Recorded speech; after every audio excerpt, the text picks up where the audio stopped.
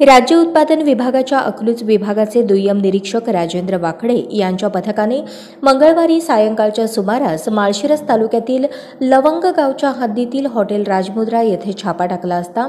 Hotel मालक योगीराज गोरख वाघ वय चोवीस हा ग्राहकांना दारू पिण्याची व्यवस्था उपलब्ध करून देत असल्याचे आढळून आला.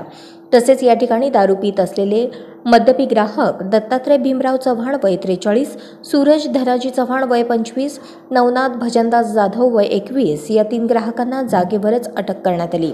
या कारवाई दरम्यान विभागाने एकशे ऐंशी मिलीच्या रॉयल स्टॅग व्हिस्कीच्या पाच बाटल्या देशी दारू सखू संत्रा ब्रँडच्या पंधरा बाटल्या डॉक्टर ब्रँडीच्या पाच बाटल्या चार स्टील ग्लास व एक कापडी पिशवी असा एकूण दोन हजार सहाशे पन्नास रुपये किमतीचा मुद्देमाल जप्त केला.